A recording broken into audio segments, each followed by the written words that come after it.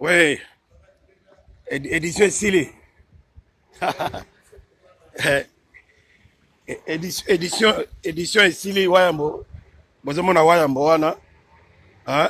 Bokoto bokoto TV bokoto bokoto. Hein? Nazolakisa bino wayambo.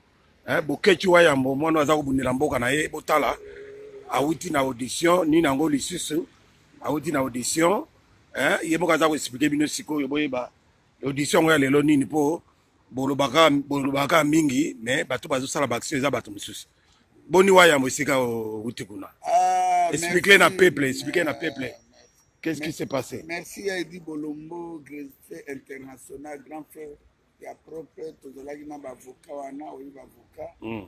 eleki bien makambo ya mama wana ya mama na biso ya kasai ouais.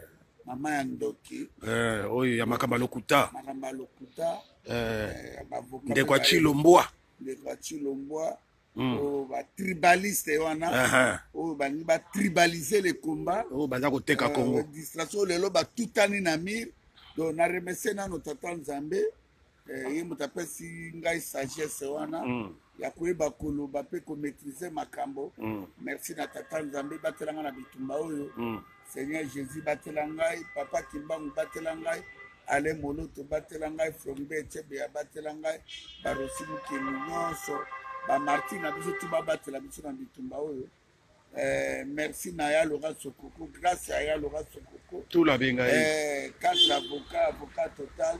Ya Laura Sokoko makambo tout eleki bien.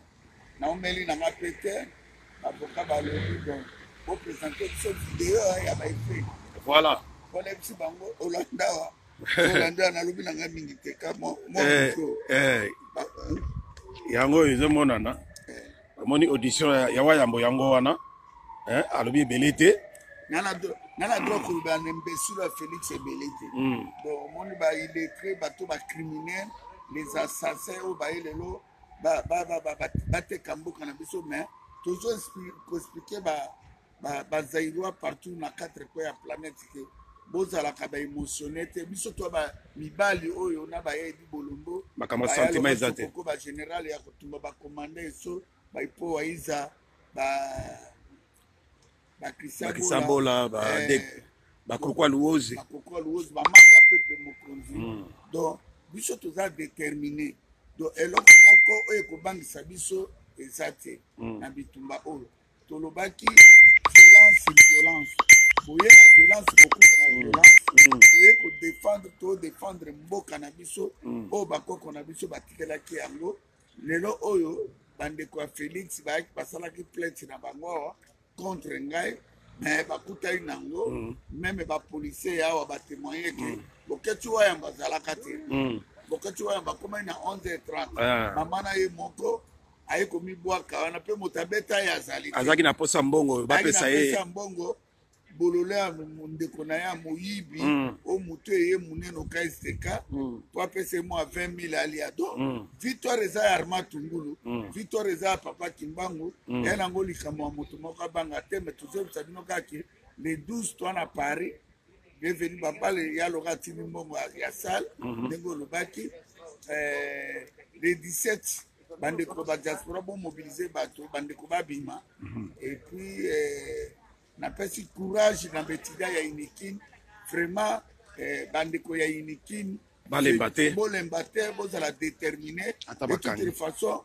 toyebisi lokola ye nani thomas luwaka apesi 48 heures mpona mpona baevacue biso mpe topesi félix chilolo 48 heures mm -hmm. 48 heures à 24 heures donc akosubir grande humiliation mm. ocomprendre lokola ye aza illettré bourrik félix etilola atanga classe te mm. kanamba atanga classe te bolingi bobebisa avenir ya bana wana boyebi ke bana wana batanga ata bazwa ata ndama mayele lokola boyaki bawi rwandais boyaki kodétruire éducation boresir kodétruire éducation lelo en tout cas bana unikin Courage courage toza ko regretter bana isa ISC institut supérieur ya IPN oyo bozwa makambo na bino me bomi libere yo yo ke personne bakoya komilibere bino to bino moko bomilibere oya bomoni makambo tobandaki koloba na bango bakota na résistance parce que bauniversité ya kala oyo toyebeli eh, ya bacampus eh, batusa ya lubumbashi ya wana akademi de boza bayalaka vraimen kosala résistance na ntango ya mobutu mais Lelo oyo tobandi koyebisa bango donc ndenge bazali wana sikoyo ba comprendre ke uh, Chilolo aye na esprit ya ba détruire pendant université donc eh, bakota na résistance sikoyo toza na besoin na bango hmm. et puis tozoyebisa bango na bato tout oyo bazalaki baza blessé oyo bazwaki babale eh, na na contact na bango mpo ya loka sokoka azotinda mbongo eh, ya baswane bato wana très rapide et puis eh, totiela bango biloko mpe ya kolia c'est ça ba eloko tolukaki université ezwa conscience loka unikin betidia bazwi conscience ezali grand victoire mpo na biso mm. yango tolobi le 17 diaspora bomobilise bandeko babima eh, et puis eh, le 18 twana marche na paris mm. awa tozolobela toza unité na baoyo balingi unité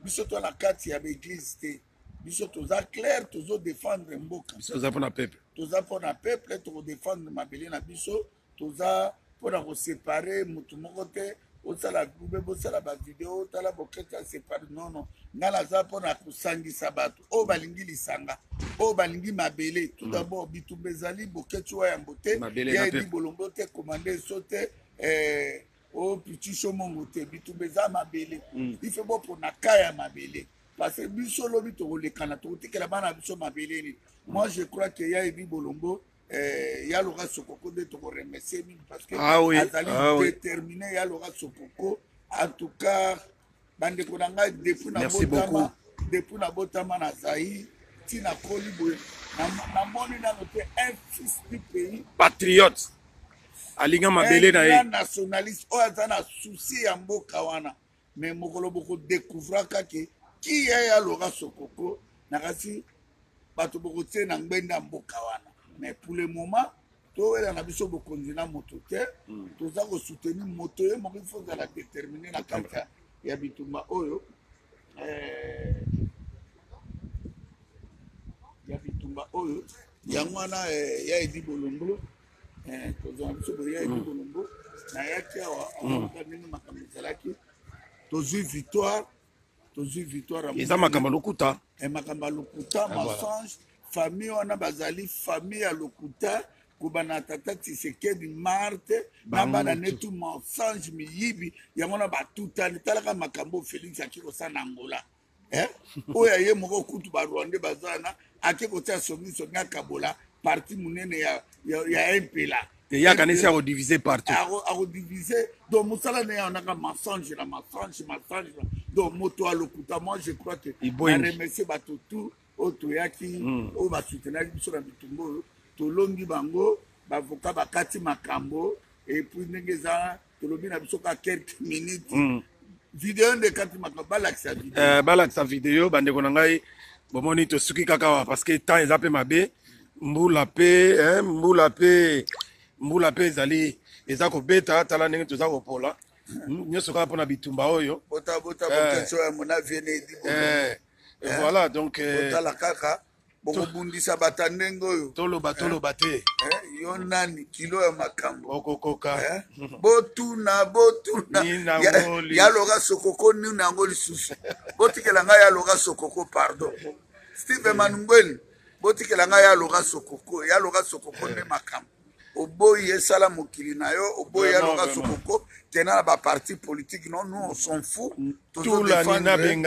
tozo défendre mabele mm. epuis tokogagne bino bientôt ah mbote na bato tu camionnette mbola mbote eh, dotel Docteur Jafar awa toza kuna te kuna te Docteur Jafar kuna te kuna te awa toza ingeta ingeta ingeta merci ingeta ingeta merci eh, beaucoup en direct de Bokoto TV euh, Bokoto TV nde makambo eh, Steve Malungwenu tosuki awa merci beaucoup topoli na mbula merci beaucoup ciao ciao ciao ciao À tout à l'heure na 21h boy na Bokoto TV.